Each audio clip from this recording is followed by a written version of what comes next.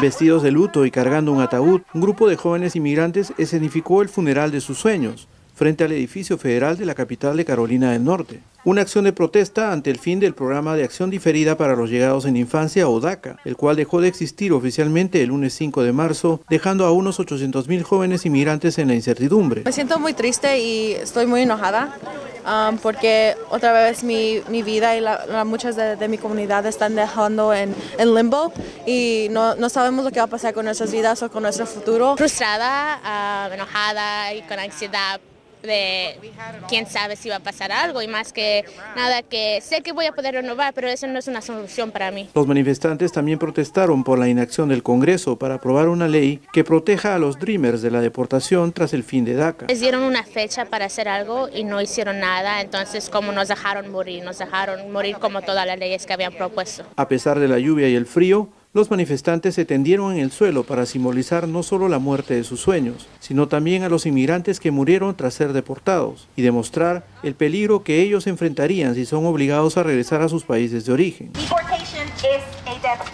La protesta se hizo frente al edificio federal de Raleigh, donde queda la oficina del senador federal republicano Tom Tillis, para pedirle que promueva una legislación que permita legalizar a los Dreamers, pero sin las restricciones que él ha propuesto en el Congreso. No queremos la misma cosa de DACA, queremos algo más permanente, algo que también incluye más gente que son indocumentados. El senador Tillis es autor de uno de los proyectos de ley que daría una vía hacia la ciudadanía a los beneficiarios de DACA, aunque su propuesta tiene algunas restricciones que los Dreamers y los activistas proinmigrantes no están dispuestos a aceptar. Junto con la idea de dar más dinero a una, a una, una frontera, una pared entre México y los Estados Unidos, para nosotros no fue una opción realística. Entonces, eso fue la razón en que queríamos tener esa protesta aquí, hoy en día, apoyando por un Dream Act limpio. La protesta terminó con un llamado a seguir luchando por los derechos de los soñadores, para que ellos puedan hacer realidad sus sueños en los Estados Unidos.